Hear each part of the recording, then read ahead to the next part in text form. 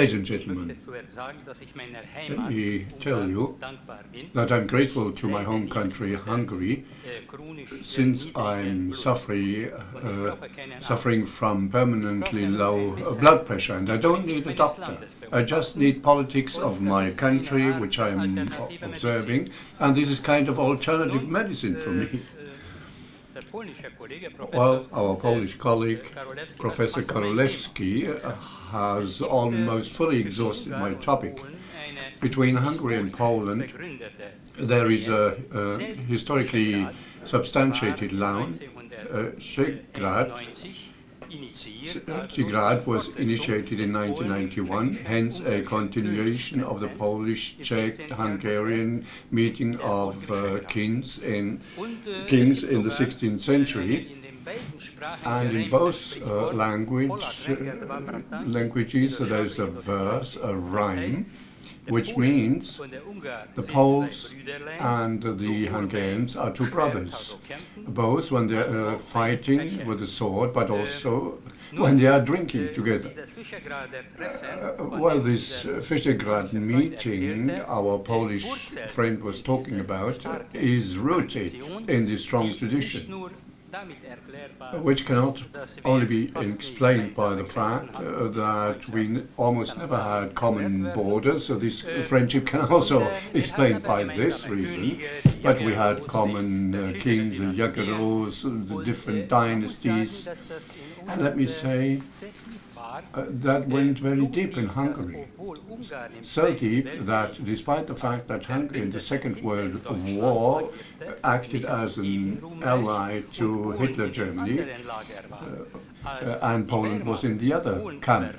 When the Wehrmacht uh, invaded uh, Hungary, the Hungarian government even had to grant asylum to the Polish uh, refugees. And they uh, fled to Hungary in 1939-40, and there was this kind of tradition.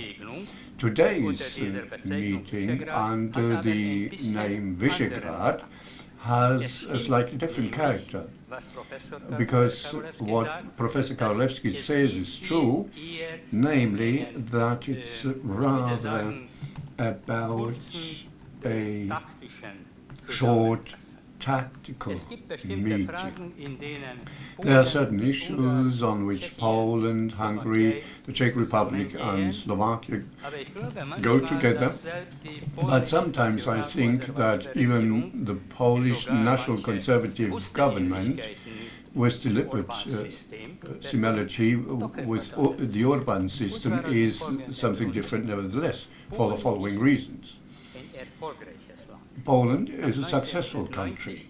After 1990, uh, the economic success, especially after uh, decades, was an unbelievable performance, uh, and the Polish society suffered a bit more than other Eastern Bloc states.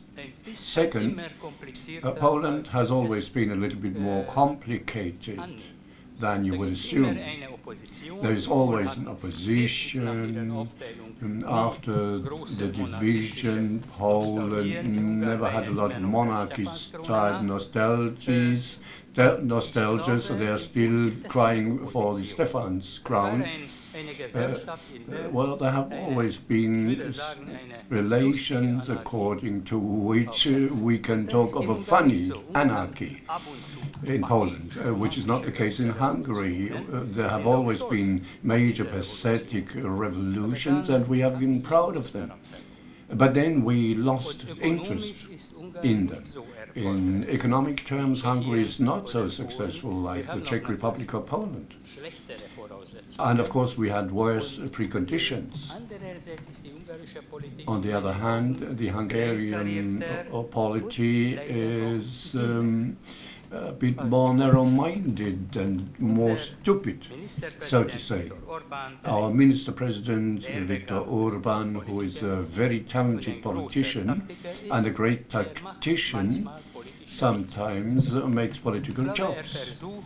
I think in domestic political terms, uh, he tries to make uh, the country stronger than it actually is, to the benefit of the citizens. And then uh, there are things uh, uh, by which uh, everyone is flabbergasted because it goes our own, the grain of our own position. Because in 1956 we were the country which was admired by Europe and the, the world and we sent 200,000 refugees to the west. And we were the country which in August 1989 uh, let the uh, former GDR citizens pass the Iron Curtain. Of course, uh, this may be purposeful in uh, domestic political terms, but it also disturbs uh, the Hungarian awareness, just like other things nicht einmal annähernd die Möglichkeiten.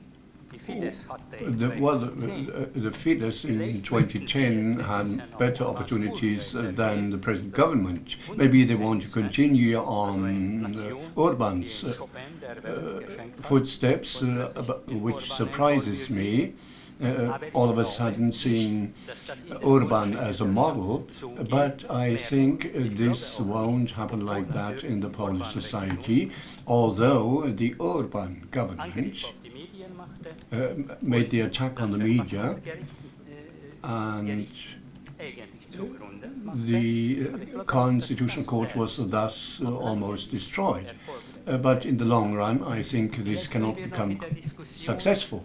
Maybe we can come back to these questions in our discussion. I get my optimism, like many in Eastern Europe, from pessimism, so to say. I do assume that on the, on the one hand, when in Hungary the society accepts something like that, it will take a while before they understand that this is not acceptable. Coquetting with Russia, that is also kind of surprising.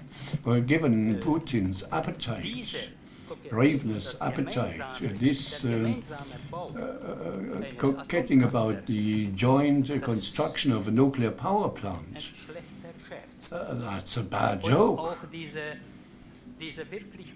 And uh, this uh, hatred which is stirred up against the EU, for which Orban is personally responsible, is not real. Either. He doesn't reject each and everything. For example, EU money, he would never reject, which I can, can understand very well, because without this uh, money, Hungary couldn't function. And despite all friendship with Poland, with the Czech Republic, less friendship with the Slovaks, uh, we have some unresolved problems in that regard. But uh, in the light of all these problems and concerns, I'm of the opinion that a return to the Warsaw Treaty is not feasible and not possible. Thank you.